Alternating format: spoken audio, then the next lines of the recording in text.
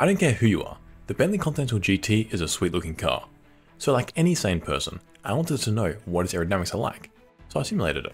But as you will see, the results are quite surprising, which made me want to try to improve the GT's aero, which we'll see in the second half of this video. But first, the cool original GT. It is a really sleek looking car, something you don't often see with ultra luxury cars. Initially, this is really good for its aero. For example, in past videos, we've seen how the lower front lip is the devil's workshop for flow separation. But Bentley was very clever with this design. You can see that there is definitely a sharp front lip, but the lower part is sloped down and away, which allows the flow to stay attached. It is a very minor point, which makes little difference to the car's look, but a very smart addition. As a result, the flow is fast and low pressure, which is good for downforce. And while this might be a land yacht, it's also a supercar. Over the hood, we have pretty decent flow because it stays attached, and because the hood is so flat, there is little flow acceleration, which means that low pressure zones occur, which means that low pressure zone you typically get here is minimized. That means less lift, which is better for handling. It's almost like a Mustang's hood in that respect. But that flat hood, which is sweet at the front, now creates problems in the windshield. There is a really sharp angle between the hood and the windshield, and that means so much flow crashes into it, dumps its energy, and creates high pressure. Not only does that create more drag, but it also means that for the rest of the car, the flow has less energy to stay attached. For the GT, that's not such an issue because of how sleek the roof and rear window are, but from an aerodynamic point of view, they kind of have to be, unless you want to get a lot of drag. So this hood really limits the options you have. And as we have seen with many other cars, for example the R8, that sharp hood windshield junction also creates very high velocity flow over the front of the roof. Now that in itself isn't a bad thing, but that acceleration also results in low pressure, which increases the lift and reduces the car's handling. I'm quite impressed with the rear window because it is sleek, and an adverse pressure gradient does form, simply because as you go down the rear window, pressure increases. But the boundary layer doesn't grow that much. That is largely because if you look closely, too close, that's better. If you look closely, the rear window isn't actually rounded, but flat, so the flow over it doesn't accelerate or decelerate too much. As a result, the pressure largely doesn't change as you go over it. That minimizes the adverse pressure gradient and hence the boundary layer growth. I'm not sure if Bentley did that on purpose, but if they did, then that was very clever especially considering that this car was designed 20 years ago when car aero was still pretty infantile. The benefit of that is you don't run the risk of separation and the wake will have more energy, which means the drag will drop. I'm really impressed with the underbody, which in this version is simplified, but one aspect that isn't is a diffuser. So the diffuser is good, but it's not as good as it could be. It's not very aggressive, and there's more than enough energy to run this more aggressively. But the thing that is excellent about it is, look how far up the car it starts. Most cars have the diffuser starting well behind the rear wheels, this diffuser starts before the rear wheel. That gives the car so much space to produce continual downforce. So while the diffuser isn't that aggressive, because it is so long, it kind of makes up for that. So the more I see of this car, the more I think the engineers knew aerodynamics very well, and particularly the fundamentals, which is what makes you a great aerodynamicist. That is the center plane. What about from above though? The float isn't great, this plane is slicing through the wheels, and you can see just how big the wake is. That tells us that the wheel regions are producing so much drag, and one major reason for that is I think the flow can really just go anywhere it likes. You can see the front wheel wakes blowing out and the rear wheel wakes being sucked in. So there isn't much to be happy about in this plane, unfortunately.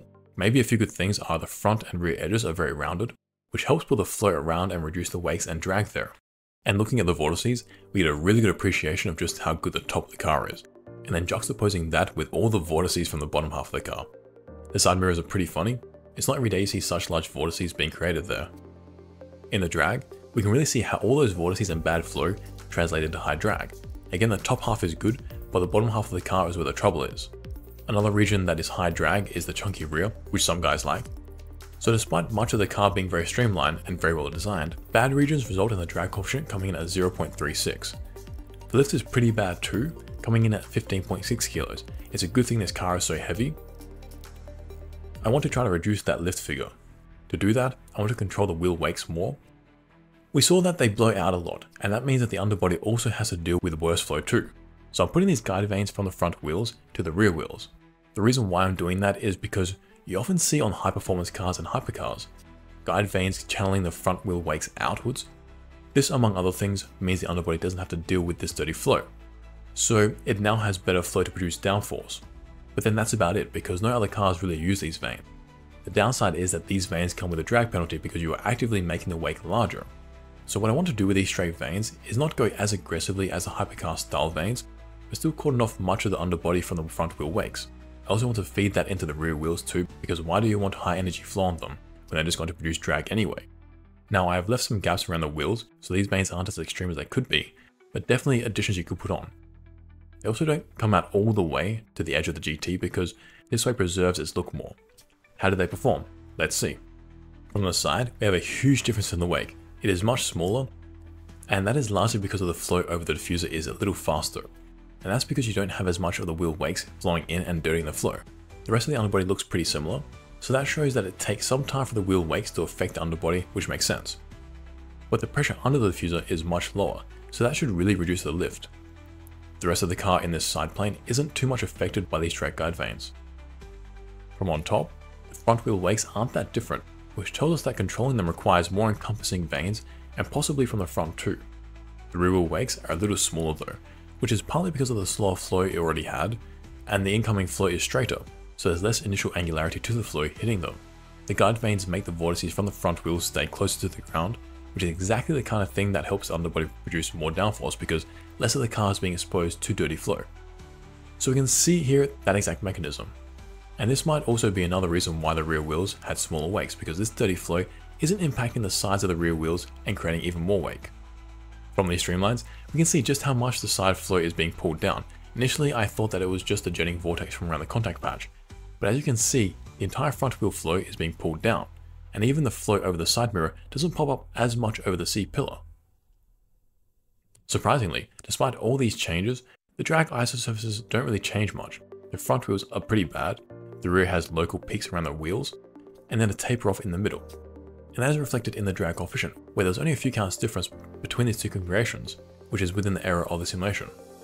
But the lift is dramatically different. It drops from 15 kilos to 11 kilos, and that is without a drag penalty. So by controlling the weight of the wheels, you can provide fresher flow to the underbody and increase downforce. Peace out amigos.